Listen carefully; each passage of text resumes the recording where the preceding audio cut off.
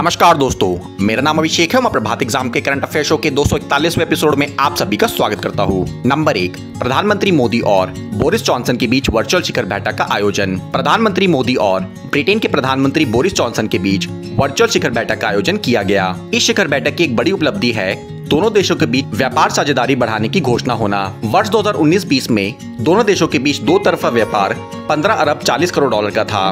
Britain के यूरोपीय संघ से अलग होने के बाद से दोनों देशों के लिए शानदार नए अवसर उपलब्ध हुए हैं। इन अवसरों और क्षमताओं का पूरा लाभ उठाने के लिए दोनों देशों के बीच एफटीए के लिए वार्ता शुरू करने की घोषणा की गई है। इसका लक्ष्य 2030 तक आपसी व्यापार को दो गुना से अधिक बढ़ाना है। नंबर दो, जेई की मुख्य परीक्षा हुई स्थगित। सरकार ने मई 2021 में होने वाली जेई की मुख्य परीक्षा कोविड 19 महामारी को देखते हुए स्थगित कर दी है। परीक्षा इस महीने के अंत में होनी थी। अप्रैल सत्र पहले से ही स्थगित कर दिया गया था। शिक्षा मंत्री रमेश पोखरियाल ने एक ट्वीट में कहा कि कोविड की वर्तमान स्थिति और छात्रों की सुरक्षा को ध्यान में रखते हुए यह निर्णय लिया गया है। उन्होंने छात्रों से आग्रह किया कि वे आगे की जानकारी के लिए एनटी की आधिकारिक वेबसाइट देखते रहे। नंबर तीन, आईपीएल भी हुआ स्थगित। क्रिकेट खिलाड़ियों के बीच कोरोना के संक्रमण को देखते हुए इस समय जारी आईपीएल क्रिकेट प्रतियोगिता को स्थगित करने का फैसला लिया गया है। यह फैसला आईपीएल की कार्यकारी परिषद और भारतीय क्रिकेट कंट्रोल बोर्ड की आपात बैठक में सर्वसम्मति से लिया गया। देश में कोविड की दूसरी लहर के बाद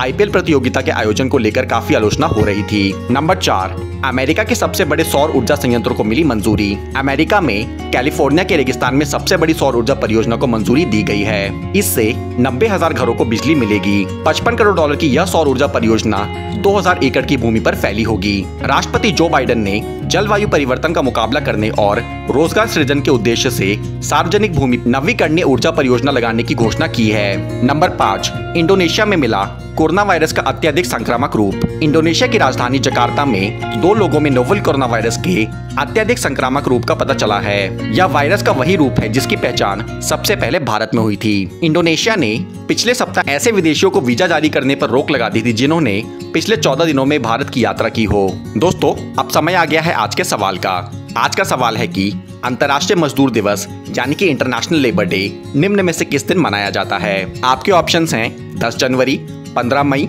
एक मई या 12 अगस्त। आप अपने जवाब हमें नीचे दे कमेंट सेक्शन में बताएँ। हम इस पर कल की वीडियो में चर्चा करेंगे। दोस्तों, कल की वीडियो में हमने आपसे पूछा था कि हाल ही में किस देश से साढ़े आठ मिलियन वैक्सीन की खेप भारत आई है? दोस्तों, इसका सही उत्तर है ऑप्शन सी रूस आप में से उनको बताए जिन्हें सही जवाब मिले। दोस्तों, आज के वीडियो में बस इतना ही। आज के वीडियो का पीडीएफ आपको नीचे डिस्क्रिप्शन बॉक्स में मिल जाएगा। वीडियो पसंद आई हो तो वीडियो को लाइक और शेयर ज़रूर करें और अंत में चैनल को सब्सक्राइब करना ना भूले। धन्यवाद।